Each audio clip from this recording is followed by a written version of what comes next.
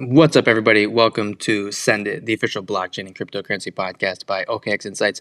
I'm your host, Adam, and I'm joined today by FBI Femboy. You may know him on Twitter. Um, let's get started by having you introduce yourself.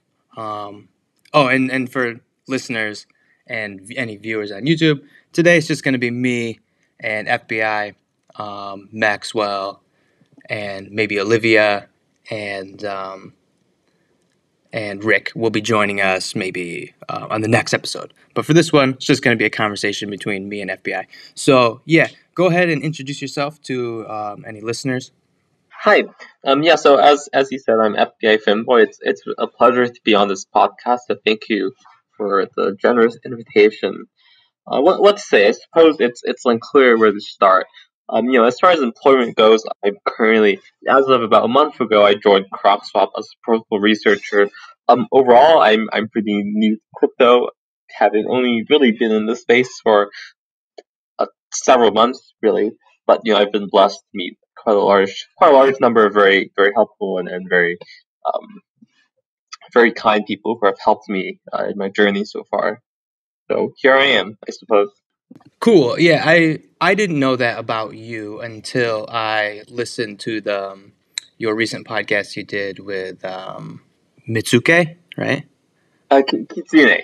Yeah, yeah, yeah. Um, and I didn't realize that you were such a newcomer in the space. To be honest, I assumed um, in the beginning that you were an anonymous account for somebody else.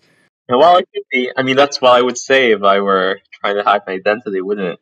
Yeah, yeah. So let's let's kick off with that topic then. So as a newcomer, like you've made a name for yourself, I would say on crypto Twitter like pretty quickly. Um and for somebody else who's like new into the space and who is like let's say they're more than just well heck even if they're just like your average kind of like speculator like retail speculator or something but they're like really into crypto they want to have a presence on crypto twitter that sort of stuff what what kind of advice would you give? Like considering you, you know, you became relatively popular pretty quickly, um, and you, and now you're at CrocSwap and whatnot. Um, do you have any advice for somebody who's looking to like get into the space, sort of like now? Sure. Well, I, I think that's really quite an interesting question. I, I guess I would say that to the extent that my popularity can be attributed to any sort of you know deliberation or skill, I, I think it has to do with tweets I post that are, I, I guess, based on a relatively realistic understanding of, of crypto, right? Which I think, you know, surprisingly, uh, or perhaps not surprisingly, is not that prevalent in the space. Um, so I guess if I if I were to give one word of, of one word of, of advice to newcomers, it would be to really try to understand things deeply and I, by deeply, like I, I think it's important to qualify that because people often will go and they'll read the white papers and they'll read Substacks and blog posts, and that will be their sense of you know what it under, what it entails to understand some topic of crypto deeply. But I, I think that's in a sense almost missing missing the forest with the trees because if I think about you know what content I posted that has been well received, it's not it's not these things that are super technical. There are very like deep explanations of, of mathematical topics or something, but rather it's these almost like I. It, it's it's almost when I post like a fairly banal insight that seems kind of obvious to me that people and, and I just and people you know just sort of enjoy it because people don't like there are a lot of simple truths out there that people simply uh, don't really say and so if you aren't thinking carefully about what is real and what's not real, then you kind of get psyop, so to speak, into a version of reality that doesn't really exist. And by simply just keeping your eyes open and, and being having an appropriate level of skepticism about claims that people make, like I, I think that will get you quite far. Yeah, I agree. I mean, obviously, the whole cryptocurrency industry as a whole, let alone crypto Twitter, um, is very a very noisy space, full of obviously like shill, full of psyops, full of a lot of shit posting. I mean, if if one's not careful and doesn't sort of curate their feed or their network and whatnot, like things can just get really noisy and somewhat overwhelming. And I do think I do agree that having sort of like quality, thought out sort of takes um, is is important. And I, I find that accounts that do that do tend to rise fairly quickly. Um, I say that as someone who, especially lately, shit posts more than I provide any sort of quality, to be honest. But, but if someone wants quality, you know, they can come to OKX Insights and see what we're doing. Um, but so, if I'm not mistaken, your your first, at least how I remember it, your first big sort of thing, like when you got a lot of traction on um, on crypto Twitter, was your correct model of Olympus DAO Substack post. Mm-hmm. Um, mm-hmm and actually, before we get into that, before we get into that, um, what were you doing before crypto? That's a good question. I'll, I'll just leave it as uh, working in the tech adjacent industry. I would I would uh-huh. say. Okay. Okay, cool. Um, so yeah, so getting into a correct model of Olympus DAO, um, we will link this article. We'll link your whole Substack in the description for this YouTube video. But um, what would you how would you summarize this? Right. So this this had a lot of traction. I believe it came out. It wasn't at um, at Ohm's all time high, but it was, I believe, still. I think Ohm had caught like a bounce um, late in the fall. So mm-hmm. I think you know it wasn't. Let's put it this way: it wasn't like thirty dollars like it is now. Yep. Um, so this came out when Ohm was still had a lot of belief, still had a lot of momentum, I think. And I remember it did get quite a bit of buzz on crypto Twitter because it was uh, somewhat of a contrarian model, right, to the popular like you know this mm-hmm. thing going up forever. Um, how would you? What's like the too long didn't read of of this? Like, what can you say article? To summarize it very simply, I would say that the reserve currency narrative just doesn't make sense, and in the end, the staking mechanism is like a very complex and obscured form of token emissions, which is not like fundamentally different from like sushi emissions or, or urine emissions or whatever. It's just wrapped up in a very complex and somewhat obscured form and given a narrative which I personally don't think is accurate.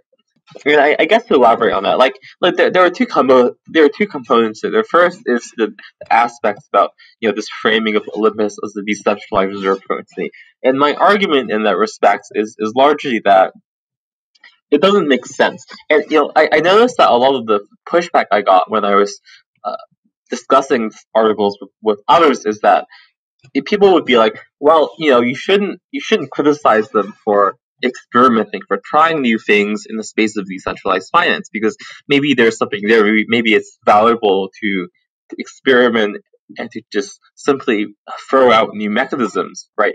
And I, I think that's somewhat missing the point of my article, because the point of my article is not to say that um, we should not have any decentralized reserve currencies, or that we should not have decentralized currencies in general, or that you know, you know people shouldn't try new things. I, I would certainly disagree with that. But rather, I would say that the point was that even if you accept the premise that one wants a decentralized reserve currency, it's not actually clear.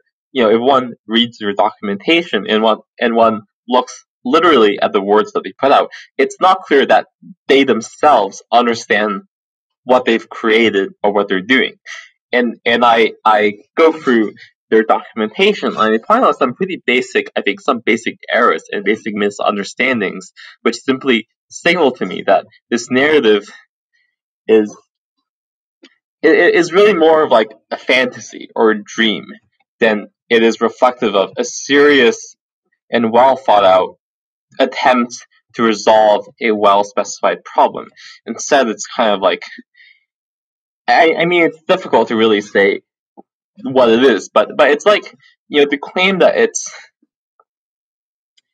I mean, you, you can't just like throw words at the wall, right, and then claim that you're a decentralized reserve currency. And much like in the same way, in the same way that you know you can't write down random numbers. You can't write like you know one plus two equals five and then claim that you're doing mathematics. Just because you're using the language of mathematics doesn't mean that you're actually doing mathematics seriously.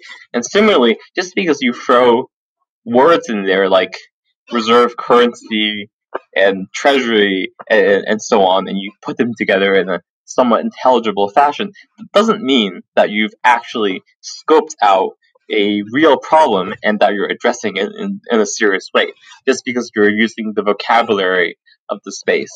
And so I think once you strip that away, what you end up with is, in practice, a treasury which is being used to yield farm, and then token emissions, which are distributed to holders in a sort of complex and not non-standard way. But ultimately, we're talking about emissions, right? So essentially, it's just yield farming at scale, which is kind of weird, right? That for and it's certainly not clear why that would that would command a premium of you know 10 or 20x um, over backing, so to speak. And as I predicted, you know, at that time, I, I believe Ohm was still several multiples uh, above backing. The, the trading was was suggest was you know implying a market capitalization that was several times larger than the treasury. And as I predicted, I, I think it has dropped uh, substantially since then. So I believe, to some extent, at least, my um, my claims have been vindicated. Yeah, um, my experience with Ohm, just sort of anecdotally, is that like I read the documents and it was a similar thing. Like, yeah, I got it or I got what they were trying to say, but I also like it's not like it clicked. Like, okay, this makes like hundred percent sense. You know, like I like you said, it was like they were using the language of they're using the correct language, but it doesn't necessarily mean that like they knew what they were talking about. I don't want to throw shade. I'm not saying like like Zeus and, and those guys don't know what they're talking about, but you know what we're getting at here. Yeah, totally. But, like, like, there are people who were saying that they're like scammers, and I think that's wrong. Like, I, like I think you shouldn't just ascribe malicious intentions to people, and like like I think that's just you know un- unnecessary. You know, I I truly believe that they were really trying to create something new, and I truly believe they they saw a problem and they were trying to do what they could to build something to address it. And I think that sort of impulse is, is really quite admirable, and we could really use more of that. It's just, uh, at the end of the day, I think it was not a well considered effort, and I think, and like, and I think that's kind of a problem in crypto in general. I mean, I, I could you could even say it's a problem in general. You know, personally, it's the major pet peeve of mine when people just throw words together and and it's sort of clear that they're doing so in a sort of imitative fashion, where it, they haven't actually thought about whether the sum total of the words that they're putting together makes sense as like a coherent sentence, right? But you know, I, I don't know. That's just sort of the state of uh, the state of the world as it is. Well, I must yeah. Like sort of an angry old boomer. I mean, to unpack this a little bit more too. So, looking at more at Olympus DAO. So, the other big aspect here, which is why I ultimately took the trade, and the trade did work for me, but the reason I, I took the trade was because the not because of what they were trying to do, that might have been like a small part of the decision, but the concerted effort to meme this thing like to the moon, so to speak. So, I mean, Olympus did a very, very, very good job of memeing it, right, with 3 3. Yep.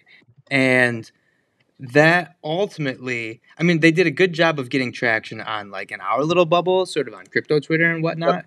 I mean, it caught my attention and stuff. And then ultimately, I think that did seep over into the wider kind of like retail space um, when it really took off and sort of hit a top. Mm-hmm. And then we started to see articles come out about it, like um, mm-hmm. like Andrew Thurman from CoinDesk wrote a good one. Before that, we wrote one at OKX Insights. A link in the description um, from our own Rick Delaney, which was really quite good. Um, but that this goes to sh- something that I think I want to discuss with you as well, and that's like so moving one step past Olympus then and the meming, then we get to Olympus Forks which became right. its own sort of, as Cobie said, like its own meta um, afterwards. And the Olympus Forks, I think, it's it's more safe to say that these things were really not well thought out efforts, and that they were um, kind of like money grabs.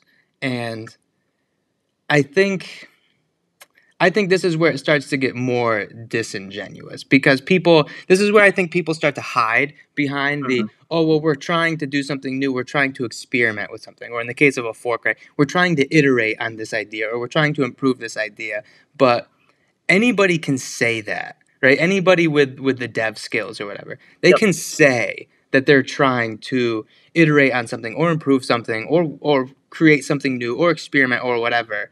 But at Yep. the end of the day, somebody's going to make money from other people off of that experiment that that nine times if not 99 times out of 100 is going to fail Mhm. like and just be lost into obscurity you know as the years roll on so yeah i mean what's your take on that That that's a good question. I mean, you know, as far as ohm forks go, um, yeah, that, that's a really good question. So, actually, it, it was about the time when I uh, joined crypto that ohm forks are starting to take off, and and although I didn't really personally um play around with them all, all, all too much, I mean, because I I'm, I'm kind of a really horrible trader, as I as I mentioned on my podcast with Kitsune.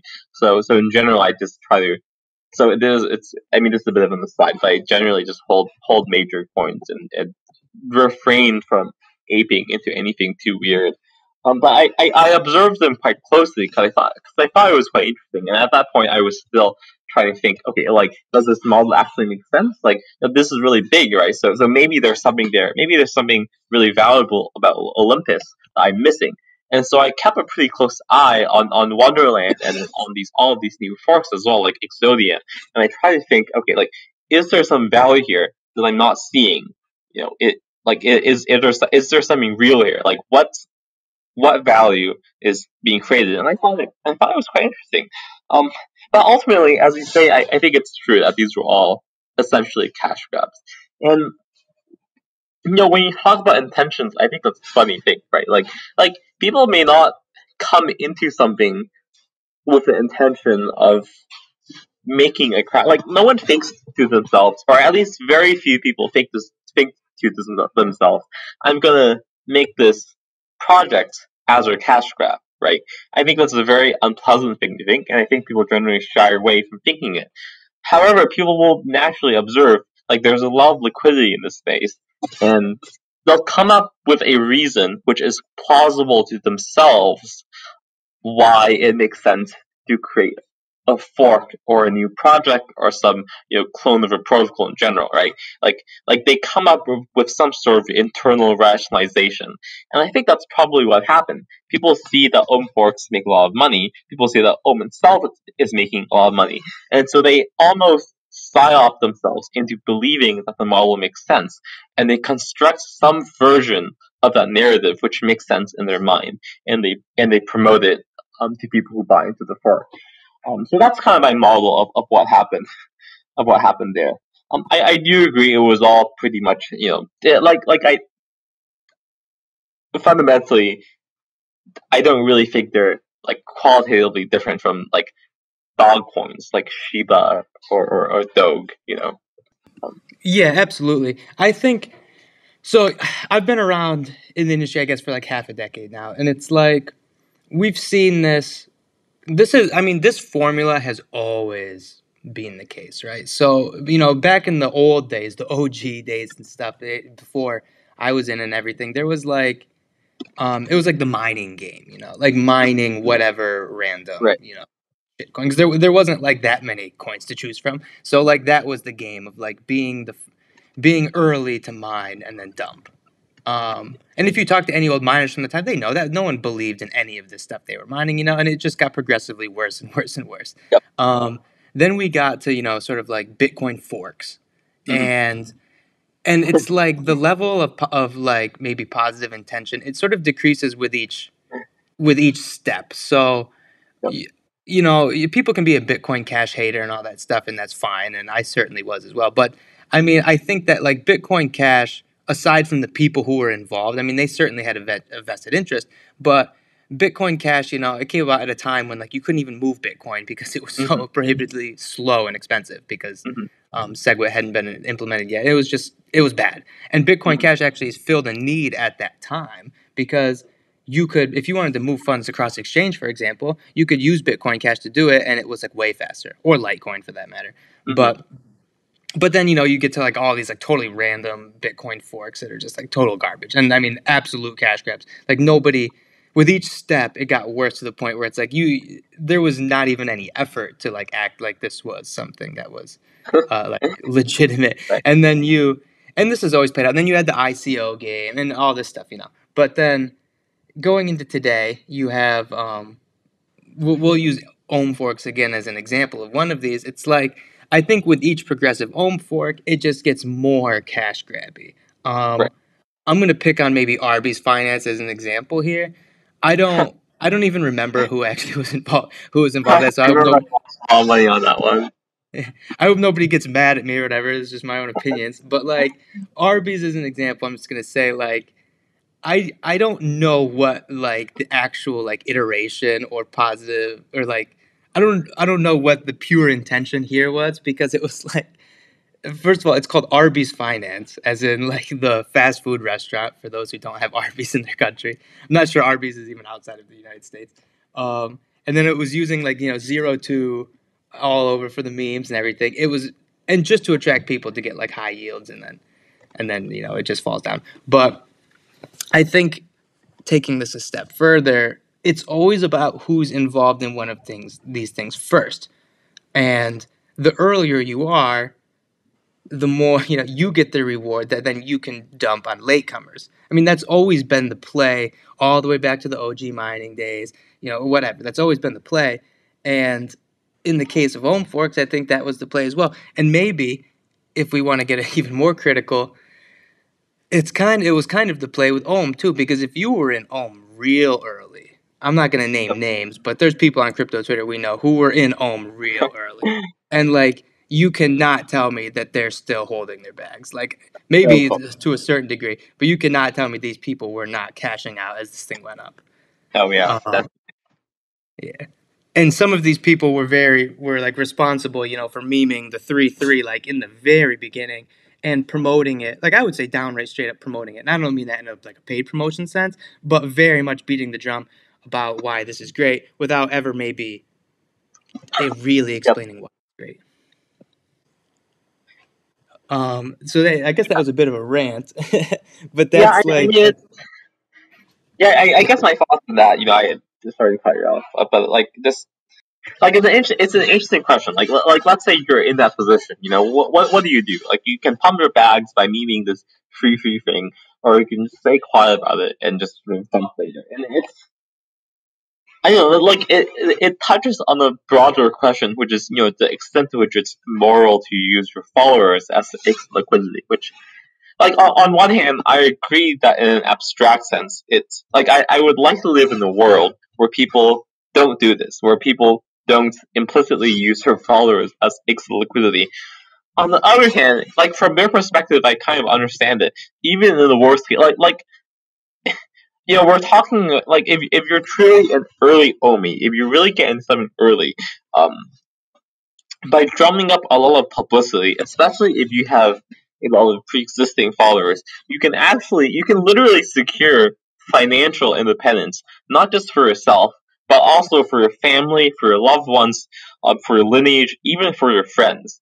And so I, I like I understand it, you know, like that's actually a very compelling trade-off. Like and at the end of the day, if you ask me if I care more about you know the, the very small number of people who I would consider very close to me, if I care more about them or about the f- people who the random people who follow me on Twitter, like like obviously you know I'm not a sociopath, and so obviously I would say I care more about the people who are close to me, nearly by definition. Um, so you know if like like you, you see the, the, you see the dilemma here, right? Like I understand that on one hand, it, it would really be lovely to have a world where no one uses other people's equal liquidity, and we're all quite sensibly minded about all of this. At the same time, you know, I, I just I, I, I don't know. Like, thankfully, I'm not in a position to actually have to have to face this dilemma myself because I, am not really an insider in anything. To be honest, no one gives me. I, I don't have any alpha, and I don't really. I ultimately am typically the one dumped on rather than the one dumping. But you know, I, I can't really bring it in myself to say that these people are categorically or universally doing something that's wrong or bad, right? They they truly are making like this this truly is something that can make a real difference in people's lives. And especially if people are coming from a background where they don't necessarily have financial security or you know the counterfactual is them like working a minimum wage job or something right? Like that's life changing and you know I, I i can't say that if i were in their positions i would do something different. You know i, I would like to say uh, obviously i would like to say that I wouldn't do that, but I don't know. I, I, I just don't know. There's, I mean, nothing is is black and white, so it totally depends on the individual and what they're doing. So, like, mm-hmm. um, how I guess I'll start with myself. So, how I try to approach it, especially as someone who works in the industry, and I, yeah, I worked for media outlets before. Now I work at OKEx, so the like one like the one of the largest, I believe, the second largest by liquidity centralized exchange. Like what I try to do, because first of all, on my Twitter, you know, nothing I say is representative of anything of my job. I mean, if, if anyone at my at the company is listening to this, you know, like, uh, go ahead and continue ignoring my Twitter. But um, it's like what I try to do with Ohm, for example, is I just stated when I bought and why. From like, look with the chart. Like, I'm buying now because it just seems like a good time to buy, and I say, you know, because this thing, I the memes I think are going to keep going and all that stuff. Um, and then it's like you know i can't tell my followers not like i have that many but i can't tell my followers like i'm going to sell exactly at this point with something like Ohm because i don't know but what i did was when i, I did sell which was uh, pretty much at the top to pat myself on the back when i did sell i was like um, uh, I just like tweeted that I sold. You know, I was like, this thing I think is just way too loud, and I tweeted even like a thread on it on why I sold because it was just way too loud, fever pitch. Like everyone, nobody on the timeline will stop talking about it. To me, that signals it's time to go. So like, at least I tried to just be transparent about it, and I think that's a good approach for other people. Now, when it comes to like, um, you know, the spectrum of of how you become a scammer or whatnot, that's like you know, you can be all the way on the scam end where you end up getting caught by like ZachXBT, right? where it's yeah. like you're some celebrity influencer, you make some NFT, and then you just absolutely rug it, you know? Like that's that's like just straight up using your influence and your followers as exit liquidity. Yeah, I, I, think thankfully you what you were doing. on CT are, are like on, on the relatively better end of the spectrum compared to that. Yeah. Like there's this like whole world. I, I find it actually this is a bit tangential, but I find it kind of funny. Like there's this huge world of, of just flat out rugs and scams that I feel like most people, at least in my circle of CT, don't are, are, are just almost completely unaware of, and we really only see through the lens of people like Zach XBT. And it's just like really bad, and we just have no exposure to it. But that's kind of like the normie crypto experience in some sense. Yeah, absolutely. And I agree, and I think that world is like largely comprised of like dog coins and NFTs. Um, NFTs usually like the ones that get rugged from like celebrities that like we never even like hear of because they're just so like garbage or whatever. Um, but like, and that yeah, because dog coins that was always the thing. Whenever some like normie friend in my real life would like write me, who like you know I I moved out of the U.S. like a decade ago, so I've kept pretty minimal contact with like most of the people I grew up with and went to school with and everything in my small middle of nowhere town where like everybody knows everybody and everybody knows everybody's grandparents. Um, I don't use Facebook or anything like that, so like I keep a, a small circle of who I like keep contact with. But sometimes people will still like like contact me and and when they do, it's always asking about like like Sheeb or something mm. like that, you know? And I just tell him like, I don't know, man. I I just have no like nothing to say to you about that because I have no idea. The only thing I can tell you is like I do, don't have any. Like, you know? Um, but yeah, so the normie, the normie crypto world gets scammed. Okay, but okay, so bringing it back, I guess to the spectrum of like, um, you know, uh, legitimacy or like good intent Mm-hmm. I do think there in our space, in the industry space, in the crypto Twitter space, there you do get into that more gray area of like um, of of maybe let's say you you iterate on something, so you make an Ohm fork or whatever, you you make something that's that's hot at the time, or you make like a new NFT project, right? That yep. you know can get some traction in like crypto Twitter and stuff like that, and what I see happen again, I'm not going to name any names or anything like that, and and I'm not going to say like I I wouldn't want to be early because who wouldn't want to be early? But a lot of times what happens is people they invite their immediate circle of friends, you know, to be in early, to mint early before anybody even talks about it because nobody knows this thing is coming. Nobody, mm-hmm. we're, we're talking about an NFT mint, like a crypto Twitter specific sort of one. Nobody knows this thing is coming. They're just gonna like drop it and drop the mint, you know. So everybody who's kind of ready um, can mint, and assuming you can mint, like you're probably gonna make a profit, and then and then you know you like the memes start and you try to get it going and that sort of thing. And if it gets going okay good. If not uh, whatever you dump and you made some money. Um, that's one of those games that's like in that gray area that's a bit bit disingenuous at times. Yeah it's funny. I recall actually i you know i remember and I, I think that's that was one of the complaints with uh, wonderland right that uh, danielle invited all of his friends to buy it to time, you know, before releasing it officially to the public. Yeah. Speaking of Wonderland, um, you had an interview on your Substack with Tuba, right? Mm-hmm. Yeah, that's right.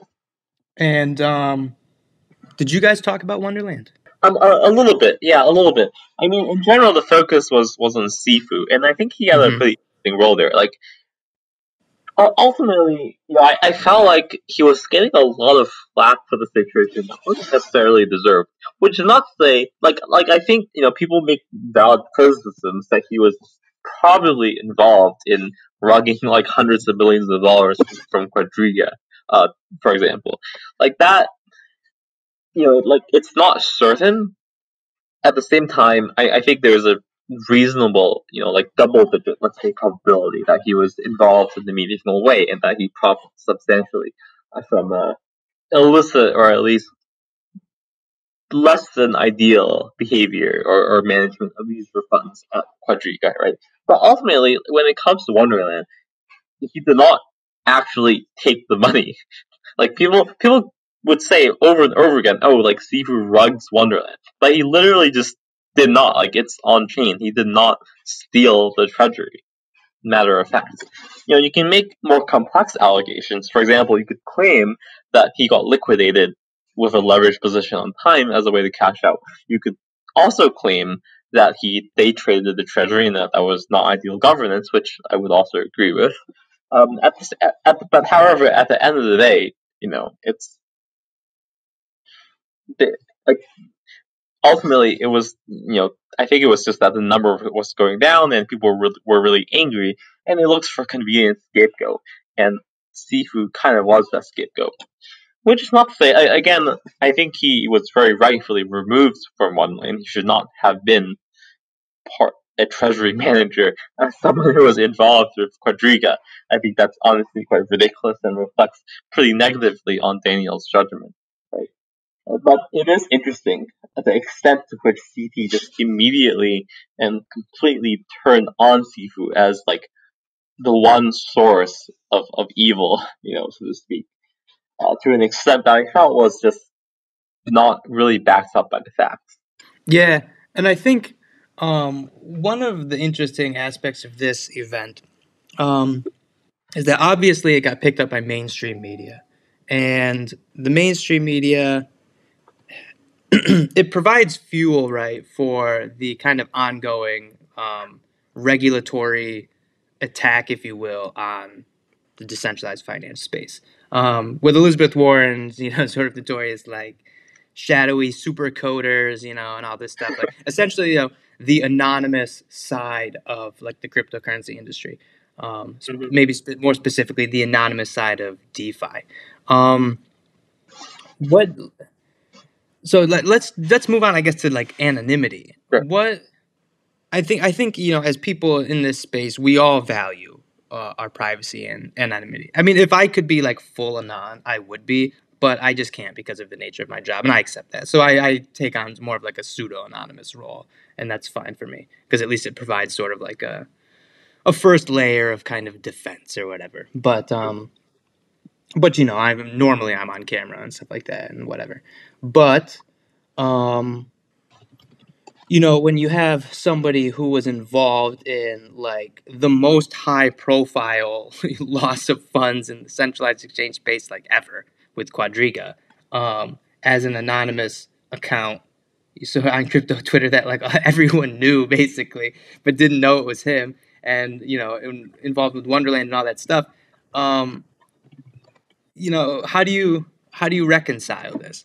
Yeah, that's a that's a good question. You know, reconcil- reconciliation of the value of anonymous culture with ultimately the potential for rug pulls. I, I don't have a perfect answer. I think I think this will be something. I think this will be something that we'll see play out. You know, over the course of the next decade, as people figure out exactly what kind of balance is appropriate. I think in practice, the the thing is that you know, in, in practice, most projects, most people, most protocols are well intentioned. They're not run by ruggers. I would say Wonderland is more of an exception than the norm.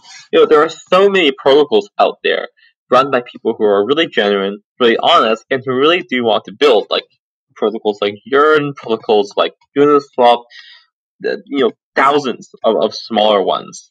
You know, like like I don't know, you know, like you could think of many, I'm sure. You know, the team behind SudoSwap, for example, is, is, is very and I, I have the highest opinion of them. The team behind the Ananas, um, I think most of them, or perhaps all of them, are anonymous. Yet I think the Anala team is probably one of the best teams out there, and I really respect them. Um, so it's really a shame, you know, that these people, that that this culture of anonymity is tainted by people who either explicitly or implicitly take advantage of anonymity to conceal their past actions and to sort of you know not explicitly rug in, in all cases, but sort of soft rug. I think I think that's a fair purpose of Wonderland to essentially soft rug people.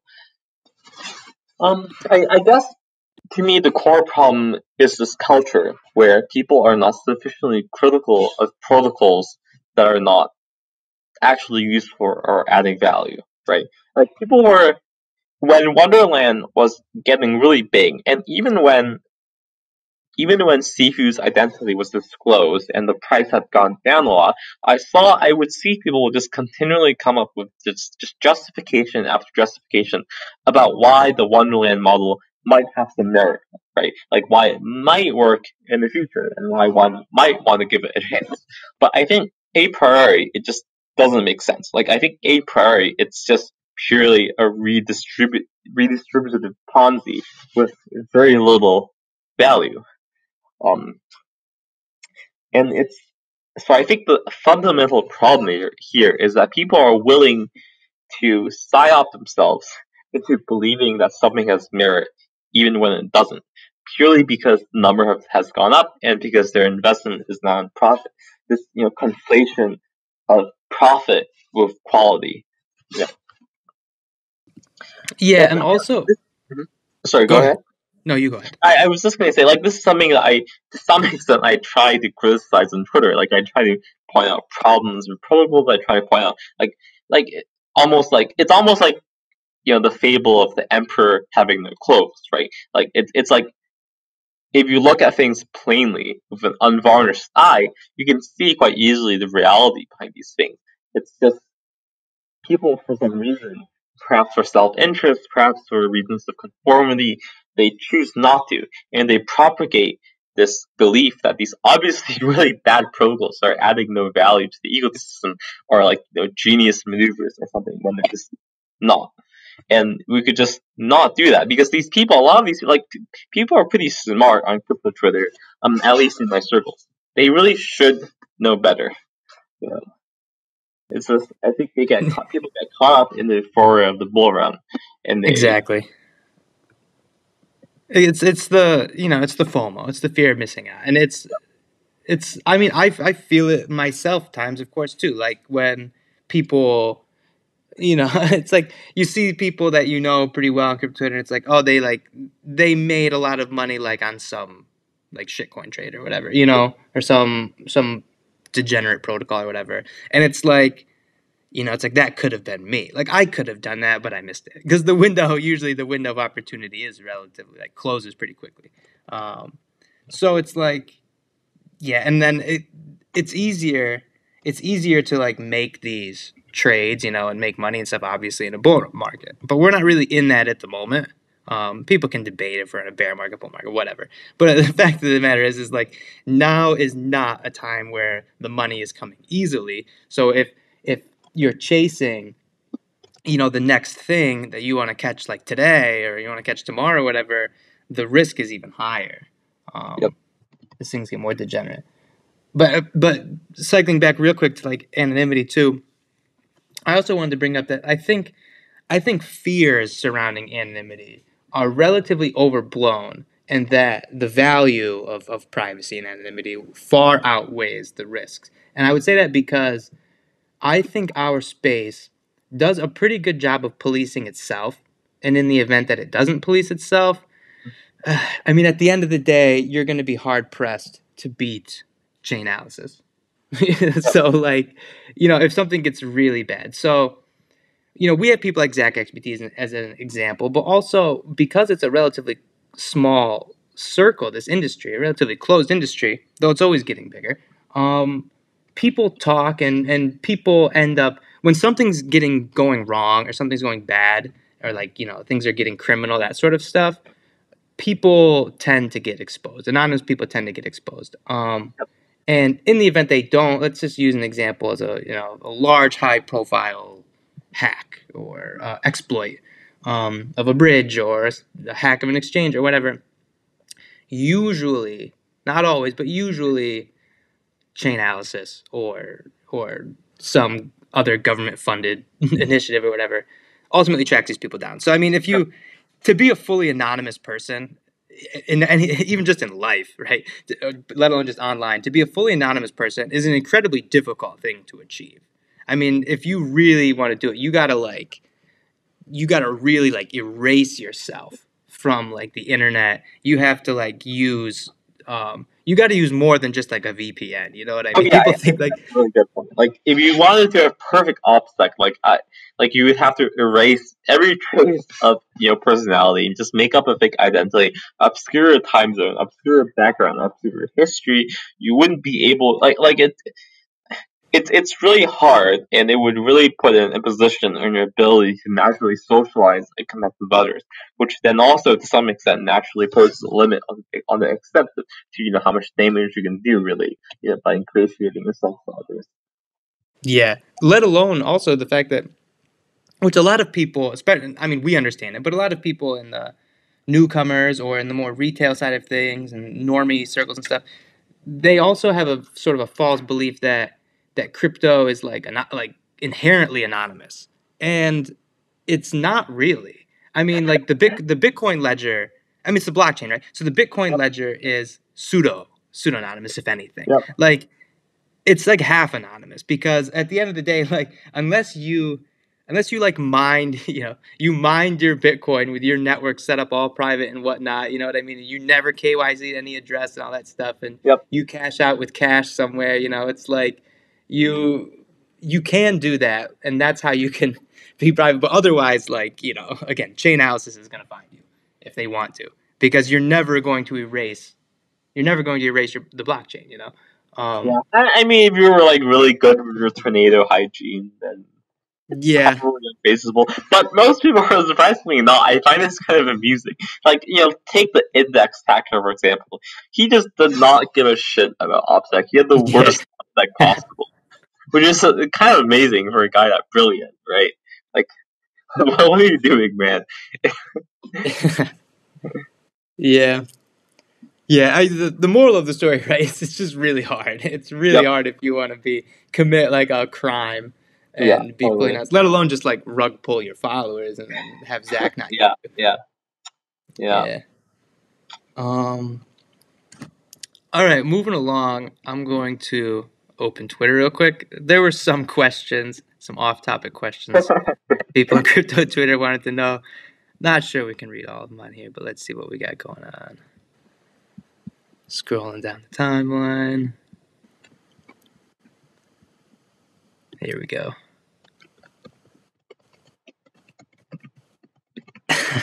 okay, so DC Builder, friend of the show, he's been on twice. He mm-hmm. wants to know about classical music and anime.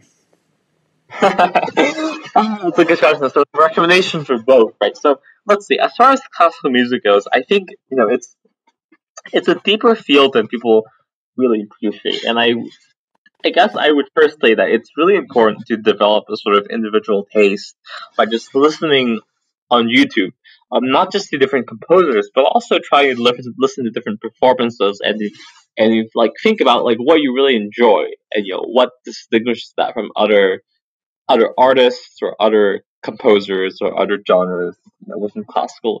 I would say that my personal preferences, I, I tend to really enjoy a classical music that's very melodic. And so, for example, in, in that respect, I really enjoyed um, Schubert's works, especially mm-hmm. Schubert's later works, like his his um, string quartets and in, in particular string quintet. I think they're really quite beautiful. They, honestly, they're like it's, it's a bit funny. They they they have a sort of angsty feeling to them, which which is maybe not surprising because I think Schubert died pretty young. Uh, nevertheless, I, I, I quite enjoy them. Um, his vocal works, uh, for example, his uh, cycle winter songs, I've always found that a bit of an inspiration as well. You know, for for singing and for just you know, just musically in general. The melodic line there is really strong. And beyond that, I, I would say perhaps you know, as far as opera goes, I think uh, I think Wagner is quite accessible, especially his Ring Cycle. It's it he uses these uh, motifs, these small musical motifs that he repeats repeatedly throughout his work, and it, you sort of notice them over and over again. And I think honestly, it, it, they really have a quite powerful emotional effect. Um, the downside, of course, of trying to appreciate Wagner is that you, if you really want to watch the Ring Cycle, that means you're sitting through like 26 hours of, of opera. Yeah, yeah. I, I don't know, like just fighters for a weekend or something and, and get drunk and just have it on. Yeah. And I think people will have fun. Uh, I, on the more contemporary side, I've really, I've really enjoyed Philip Glass, and in particular, I, I enjoy one his earlier works. For example, like his op, his operatic music. Um, he, he has a couple like movie soundtracks that he did that I really like.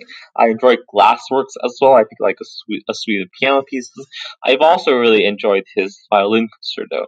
Um, something that I've really love lately is this is is this particular pianist. I think his name is like something Olafson. Let's let me look it up.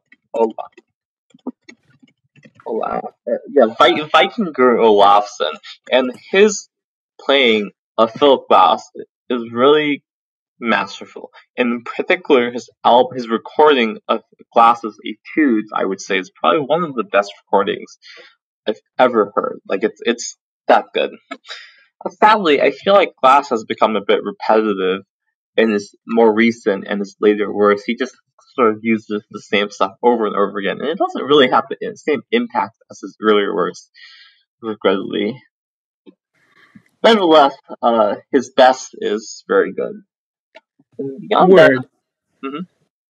oh, yeah, yes, yeah. Um, Oedipus Rex is also a really nice opera. I think might, that might be more accessible than the Ring Cycle, actually.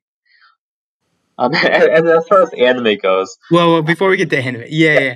Um, I yeah, I dig everything you just said. Um, and I wanted to bring up a uh, just a more generic thing too, and that's mm-hmm. like I think, I mean, I would recommend anybody listening to this mm-hmm. show to listen to classical music because, like, I I'm a bit alarmed maybe that like people don't. If even so, when I was finishing my undergrad, so this was like 2011. Um, I had like some f- like free credits, like I had to do or whatever. Mm-hmm. So I did uh so I was like, well, I'll take music listening, you know, why mm-hmm. not? And that's usually like a class a lot of freshmen take, but I, I had missed it. So I was like, well, I'll just take it. It's my last semester. So like, it'll be easy. And I remember like, you know, so this was like a big lecture hall type class, like full of people. And I mean, all you had to do like for homework, you know, was like listen to the mu- the assigned music and then be able to identify it on the exam. Like they would play like a clip and you just had to choose like what it was. So it was incredibly easy. And it would like blow my mind that like you know these freshmen and stuff in like 2010 it's like they like couldn't even do that. Like the simplest of assignments like they couldn't even do that. Like couldn't be bothered. So that was like you know it's like oh my gosh. I i listen to classical music every day mostly when i drive with my son because i take and pick up my son from kindergarten. It's a short drive. Mhm. and i always listen to classical music in the car with him and like he likes it you know because i've just sort of taught him like it's cool or whatever Mhm. try to be based i don't know but um but they uh i found a composer that i'd never heard of before because they had like a some expert on and again this isn't in English. I live in Central Europe, so this isn't in English, so I don't understand like everything, but I speak the language, so I get like don't let's say ninety percent of it.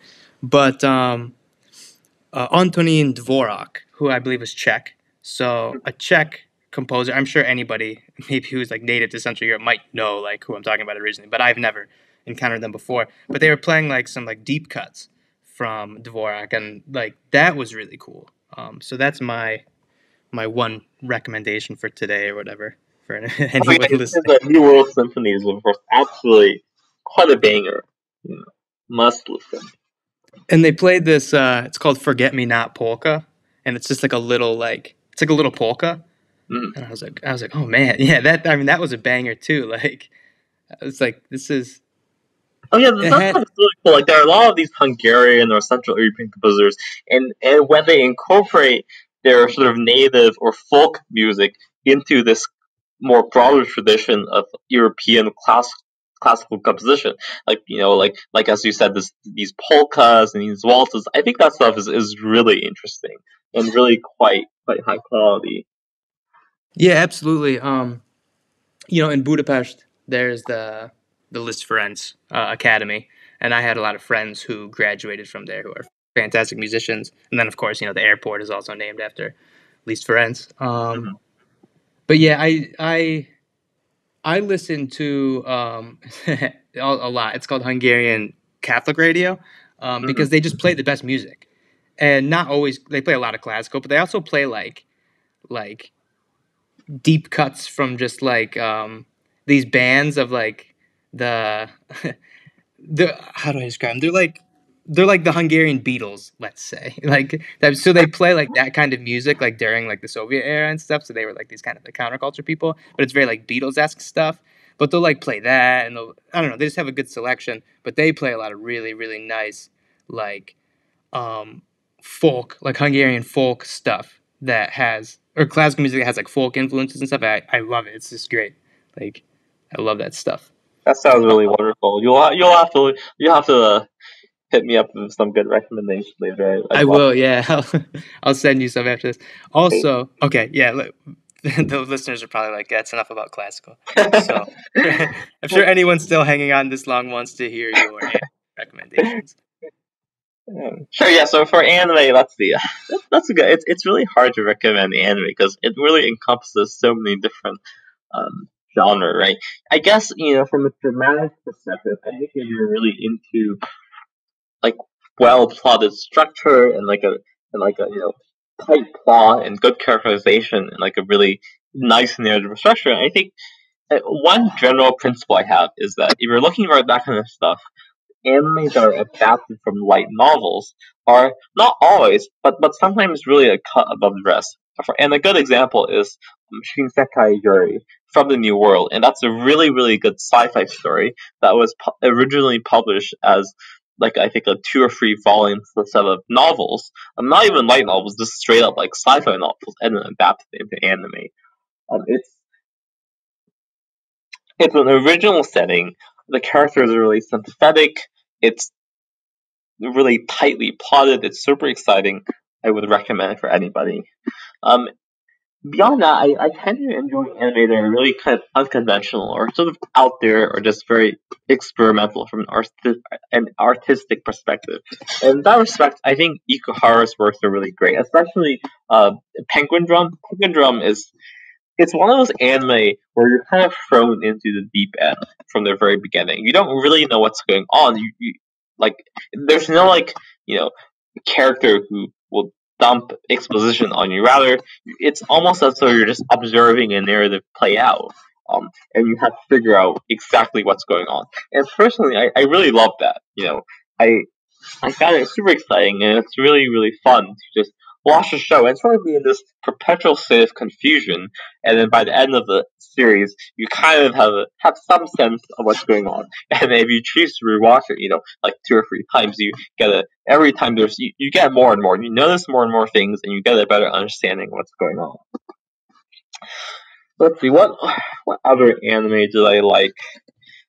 Uh, that, that's that's a good question. I mean, I've I've watched you know on order of like 200, which is not not as many as a Big D, I think, but still a fair number. Um, I, I'm pretty picky with comedy, so some anime I find are really funny, whereas some anime some anime sort of fall flat on me. Um, the Data Box is one that I found really quite hilarious. Um, from a dramatic perspective, I think the plot is quite exciting, and beyond that, it, it layers on some very effective uh, comic gags, which personally I, I, I absolutely love it. Um, unfortunately, uh, it seems to have not been that well received. Ultimately, I'm not sure there'll be a third season. But uh, hey, that's uh, 24 episodes for you to check out if you're a fan. Have you uh, checked out Big D Senpai's um, anime watch list? I just looked at it earlier this morning. It's insane. That guy has watched everything, man. I know it's crazy.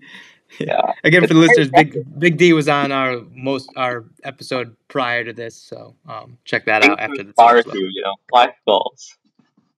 Yeah, yeah. I I was like looking at it yesterday, and I was like, how could I?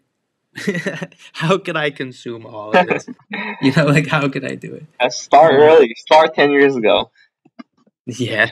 Let's see, I'm just looking um, at my list now. Some some names I just want quickly throw out. Um, uh, Zombieland Saga, really really funny. I absolutely love it. It's it's hilarious about you know a zombie idol group. I I found it just like roll on the ground hilarious.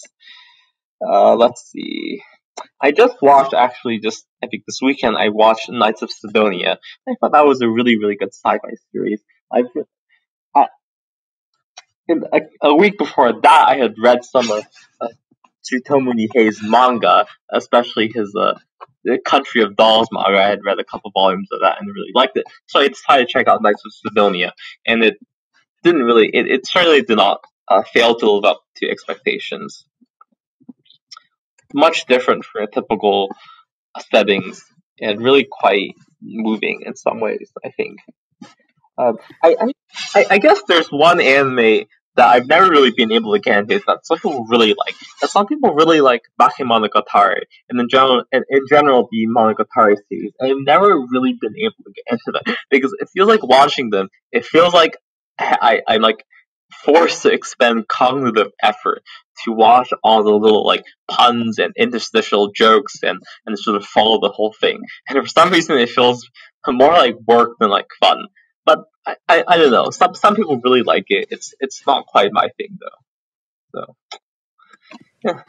Word. Um some more rapid fire questions for you. Mm-hmm. So Zero X Llama intern wants to know who would be your CT significant other and uh, why, is it, why is it them? that's a that's an embarrassing question. I mean, uh, well,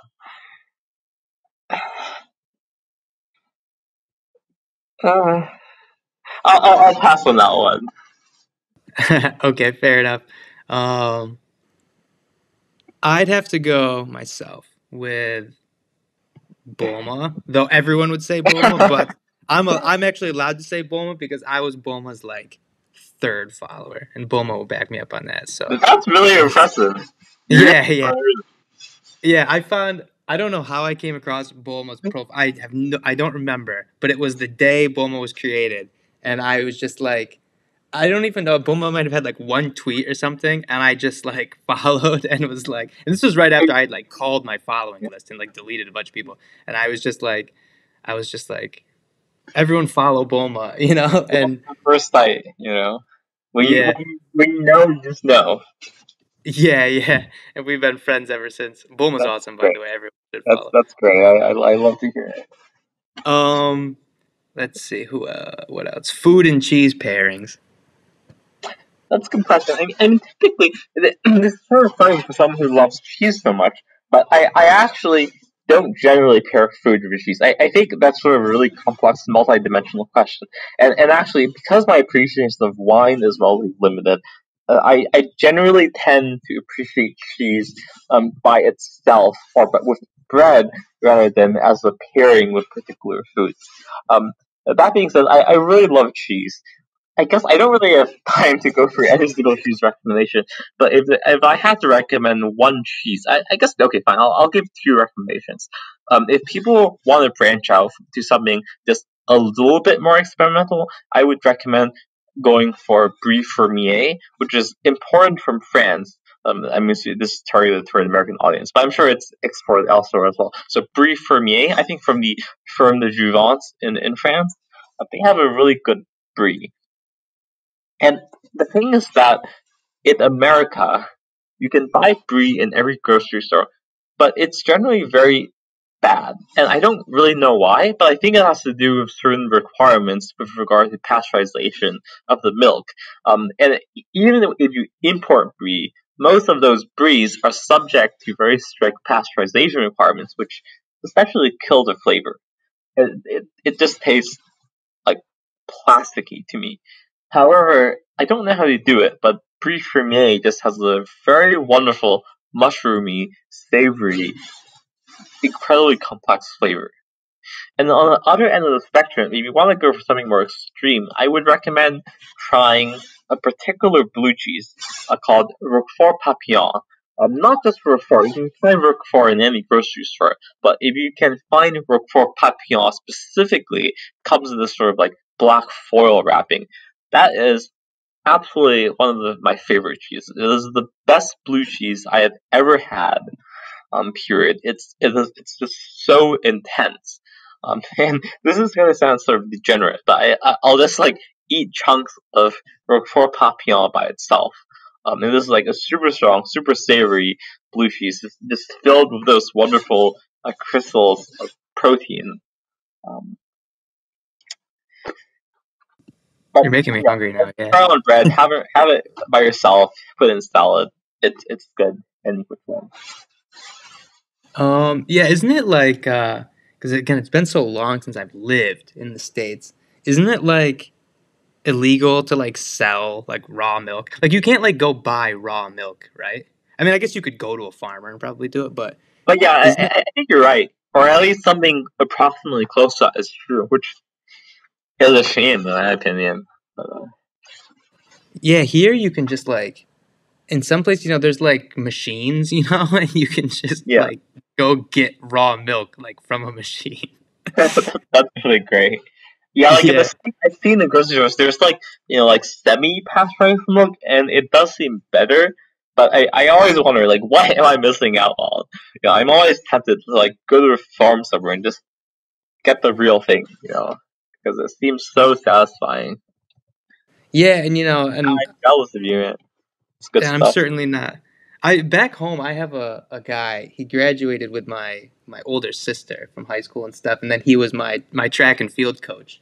And Mhm. but he is a he's a dairy farmer. And I lied when I say I don't use Facebook. I have Facebook, but I don't use it.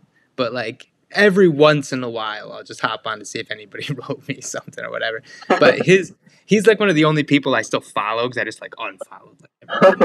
like I'm still friends with them. I just unfollowed them, but yeah, I yeah. still follow him. And he posts like really thoughtful, really like like high quality posts about being a dairy farmer and stuff. And sometimes he talks about the the um, the benefits of like raw milk and how like you know the regulation and control over, over this stuff is like very misguided and Mhm. and sort of disingenuous in itself because the sort of health benefits. My understanding, I guess, is that essentially the the problem with raw milk is that it's like, I mean, you have to have it fresh, right, and from a you know a healthy cow.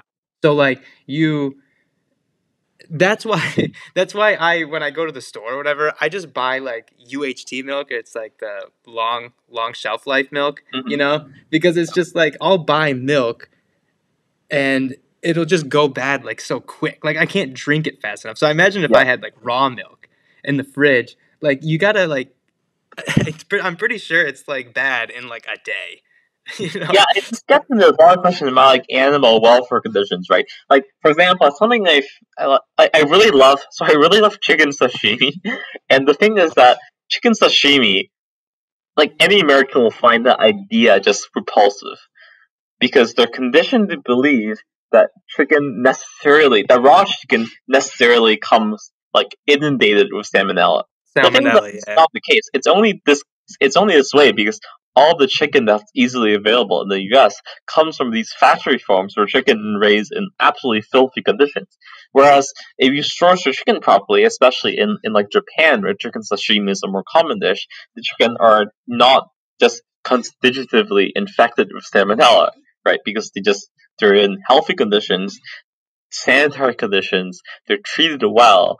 Um, however, you know, if you if you have to feed like million, hundreds of millions of people with a huge amount of eggs and milk, you know, and these people are demanding super low prices, then you do, I guess, inevitably end up with factory farmed animals, right? Which, and by necessity, that has to be subject to some pretty strict uh, pasteurization requirements. Otherwise, everyone is actually just gonna get sick, unfortunately. Yeah. Again, I'm I'm certainly no expert in this field, um, but I wonder. You know, I again when I was an undergrad, I had to watch like one of those factory farming movies or whatever, Mhm. and I was like naturally repulsed. You know, for Yeah. a period Mhm. of time. Then I kind of just got over it and kept buying milk or whatever. But like, um, but I do wonder like. I have a hard time believing, considering the sheer amount of space, you know, in the United States, especially in the, the Midwest, where there's not a lot of people, but a lot of space. Primi- that's primarily government subsidized corn. Um, Mhm. Like, I have a hard time believing, like, we, like, the United States could not feed itself on not factory farm stuff because, um, again, not an expert, and I'm not saying where I live because I don't know, but where I live in Central Europe, like, there's no factory farms or something, but I'm confident it's better.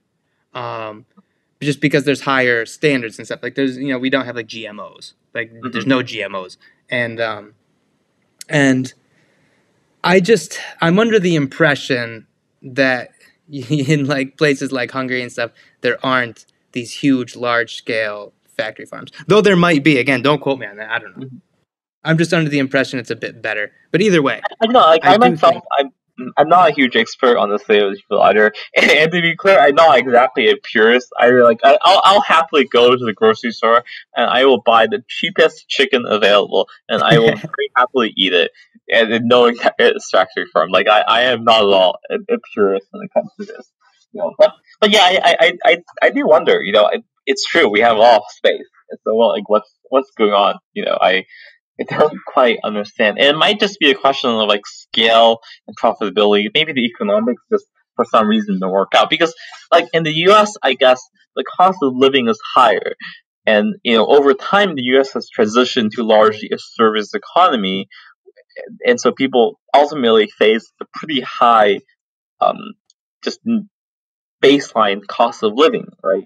Um, and a consequence of that is that physical labor, especially things like running farms, that is relatively less competitive in this sort of economy, and so they might have to resort to measures that have that are more you know, sort of cutthroat or efficient, right?